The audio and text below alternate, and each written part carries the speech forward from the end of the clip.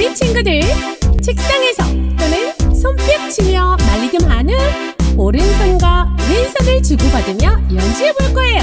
준비되셨죠? 시작!